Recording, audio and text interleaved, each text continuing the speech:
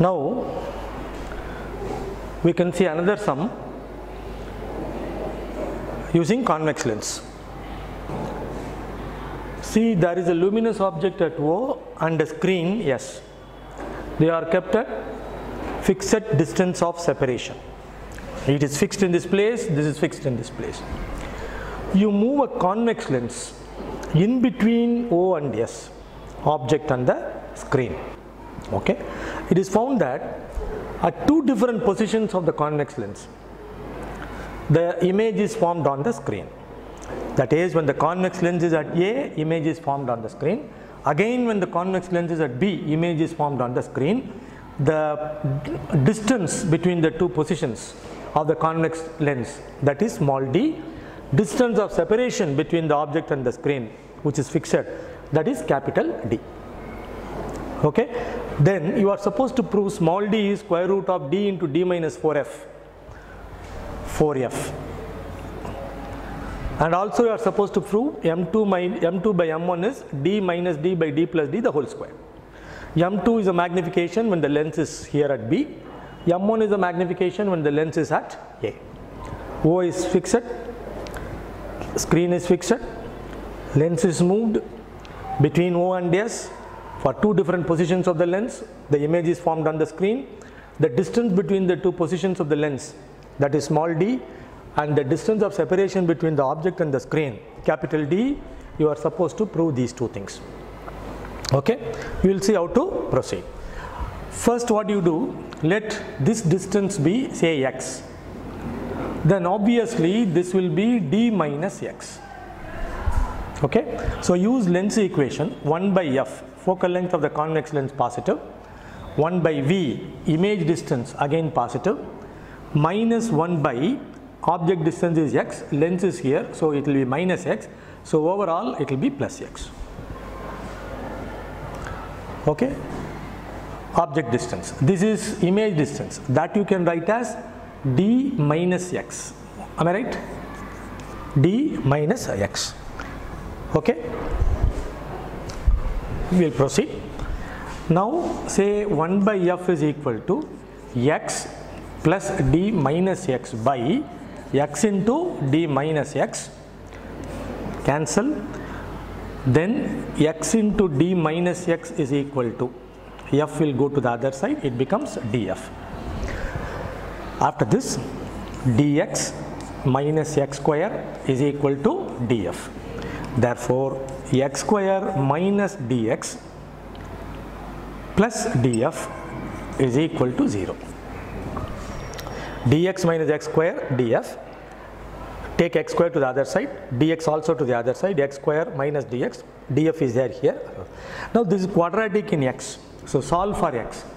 x is equal to i am using the formula minus b plus r minus root of b square minus 4ac by 2a to find the roots of a quadratic equation so x is equal to d plus r minus root of d square minus 4ac here it is minus 4df by 2 these are the two values of x.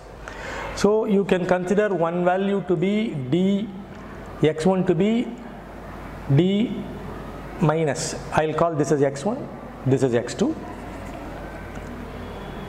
it will have two values. All the distances are measured.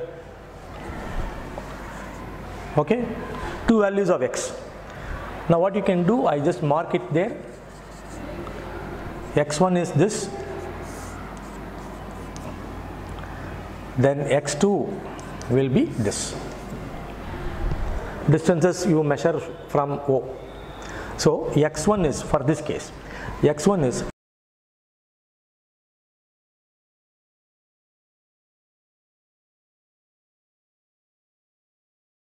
x2 because it's larger no so I just take plus part of it. D plus root of d square minus 4 df by 2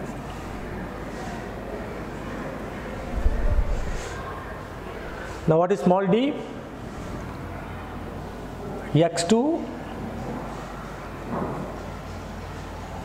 minus x1 x2 minus x1 So d is equal to x2 minus x1 d plus square root of d square minus 4 df minus x1. So minus d plus root of d square minus 4 df whole divided by 2 will cancel.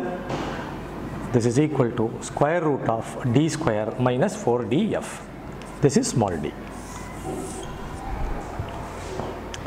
see we have proved it here. Then we'll see you have to get the magnification. Note that d is equal to square root of d square minus 4 df this is in fact small d. Now you proceed further. You want to find magnification. First you will find m2 for that you can write x1 as. This is x1 d minus this is small d by 2 then x2 take this d plus. The whole thing is small d by 2 keep it in mind. Now magnification when the lens is here imagine that is only m2 so v by u imagine the lens is here uh, so v is this. D minus x2 by lens is here. Object distance is x2 so x2 v by u. So d minus x2 is this. D plus d by 2 by x2 is again d plus d by 2 this will be 2d minus d minus d by 2 into 2 by d plus d. 2 and 2 will cancel. Therefore m2 is d minus d by d plus d. So I write here separately. M2 d minus d by d plus d. Similarly you find m1 m1 means lens is here. So magnification v by u v is the whole thing. D minus x1 u is this by x1 therefore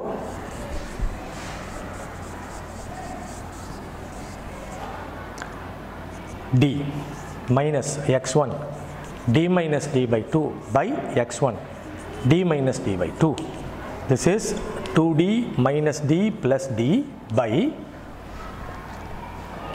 2 into 2 by d minus d, d. 2 2 will cancel. So you will get d plus d by d minus d. This is m1 so you will get m2 by m1 m2 I already wrote there. D minus d by d plus d divide by m1 which means again d minus d by d plus d. Therefore you are getting somewhere here m2 by m1 d minus d the whole square by d plus d the whole square. See because uh, you don't have sufficient space somehow I have to write in some place available to me. So m2 by m1 d minus d the whole square divided by d plus d the whole square. Or you can write finally m2 by m1 is d minus d by d plus d the whole square. Okay